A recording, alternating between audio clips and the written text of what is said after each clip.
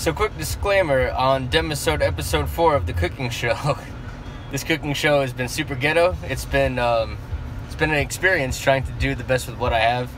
Um, sometimes the things are lacking and everything has to be taken in one or two takes. But um, it's gonna be a compilation of stuff. So, stay tuned.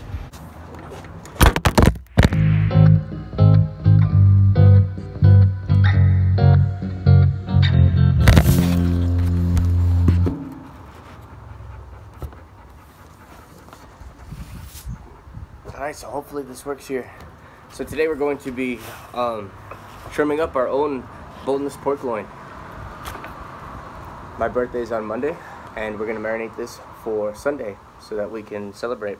And you can save a lot of money if you go and you buy a full pork loin rather than something that's already been processed by the butcher. And um, I'll show you how to do it yourself. So first things first, as you have this here, you're gonna wanna you're gonna wanna cut one end of the bag so all the juices don't leak out. And I could cut, slice it down the thing. Well, actually, before that, first things first, you need to get yourself a nice sharp knife. I have here, I have a all-purpose survival knife. Uh, this is a LT Wright design uh, hidden woodsman knife for my friend, uh, put up for my friend Malcolm. So what we're gonna do, first things first is we're gonna cut the top. Never cut towards you like that. But I'll, I mean, I'm just gonna break a whole bunch of rules as I'm, as I'm doing this. Okay a little slit just for all intensive purposes so that everybody can see.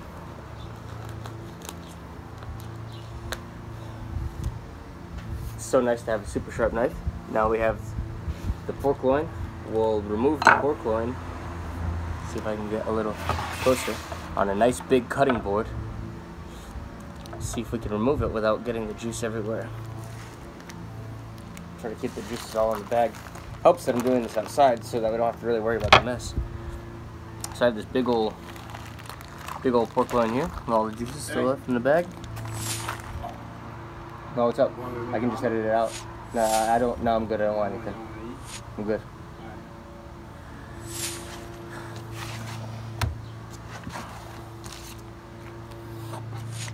So we have here, we got the pork loin out of the bag. No mess.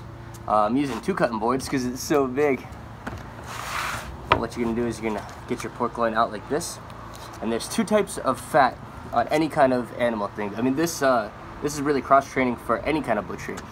I learned how to butcher things um, through friends that I know, as well as just experience by by getting deer. But there's two different types of fat on a, on an animal that as you, as you trim, you're gonna have to look for it. I mentioned before in the steak tip, tip episode, there's regular fat, and then there's something called silver skin if I can get a shot up close here. My best. You'll see up at here, it's very shiny and very, very, very tough. And that's silver skin. And that will make it really, really hard to, to be able to eat. But regular fat, especially pork fat, I mean, fat means flavor. You can leave some on, but for all purposes here, I'm gonna trim most of it off. So I'm going to start by cutting this into manageable pieces. Um, Jose, how big do you want these? Big enough for for three. We so, do we do a piece for three, and then a piece for four, just in case we have a guest. So so what do you think? Like that is too big. Um, a little bit less. Right here, there will be a good piece for three, because if you see, when we slice it like this, like this, like this, like this, See, yeah. that's a good piece for three. Okay. So I'll, me I'll, measure a few of them because I'm yeah. gonna I'm gonna cut. Uh, well, I'm gonna cut this thing in half first. Yeah. Just so I can so I can work with it. No.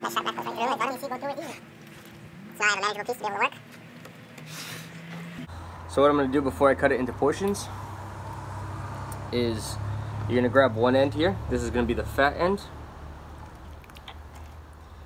One hand will will peel it up don't know how close I can get to be able to see. I'll just cut to the to the right shot. But you'll see here the fat. What you're going to do, this layer, you can use your hands. Don't be afraid to use your hands and really get in there. But you're going to pull up as much as you can. Once you get a healthy lip, you're going to start start by by cutting into it. I guess I'll just take this first first layer of fat off.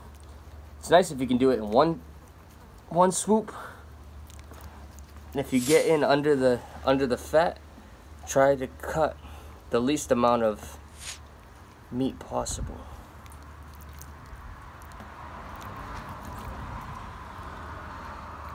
Yeah, this is gonna be this is gonna be difficult.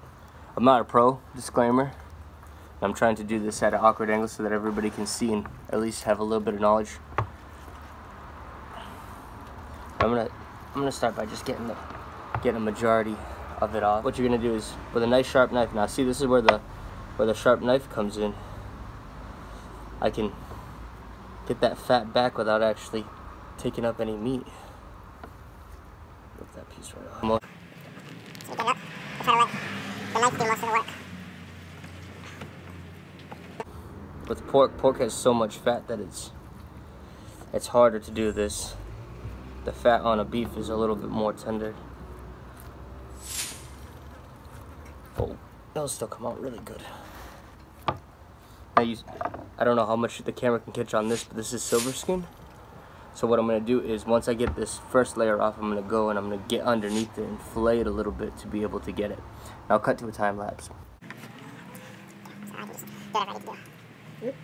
So I can just do it whatever I need to do. And just do whatever I need don't gonna worry about it. And now this soft fat. He's picking on that fat like it's nothing. Yep. And that's a soft fat, it's not even a hard fat.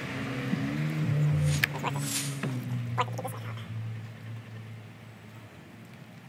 Have to sacrifice a little bit because it's slippery, that's why it makes it hard.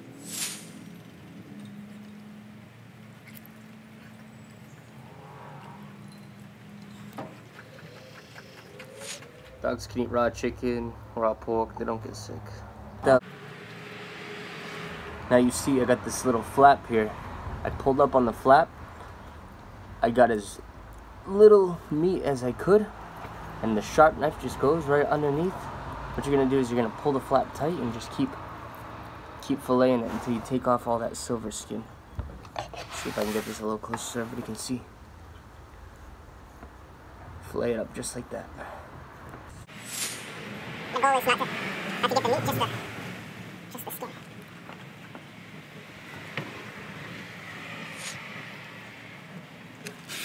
Oh, one thing I forgot to mention now. You have the big tenderloin here, as we can see. I'll flip it this way because it's a little prettier. You have the big tenderloin, but then you have an extra, an extra strap. What you're gonna want to do, like this strap here, I'm gonna cut that off.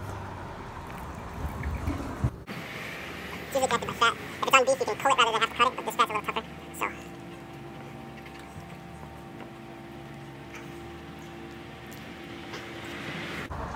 I guess the secret to really butchering something up is to be able to see where the where the tendons and the and and the fats join, and the, the natural muscles stay. And then once you separate the muscles, that's all it really takes. A good eye and some common sense, and a sharp knife.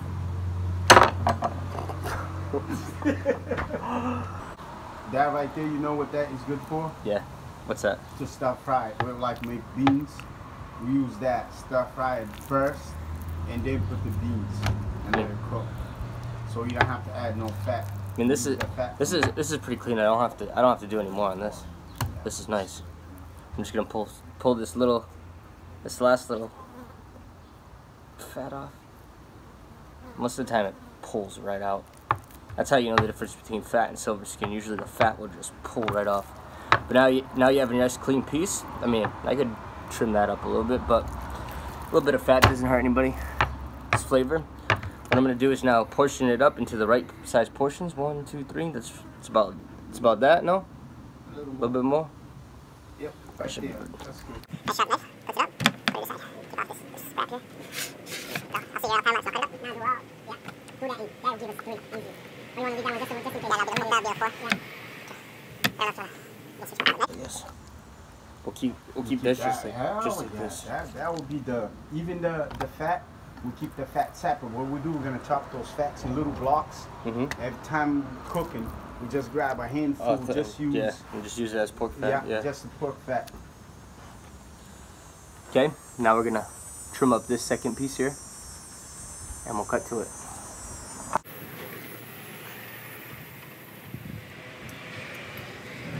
Peeling up the flap is, is the most important part. If you can get a good flap on the first one, you can you only need to do it once.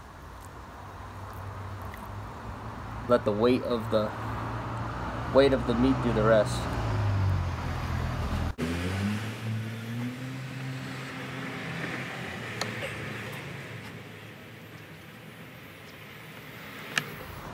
All cleaned up. Took me five minutes at the most. Get all that fat off and marbling. Th- This side of the piece has a lot of marbling in it. Uh, leaving some of this fat like this, leaving some of that on like that, that's fine. That'll add flavor. Uh, but if you don't like it, you can always just string it right off. Pulls right out. Now we'll just make a couple portions. Take some of my my normal portion sizes that I did on the last one. Just match it.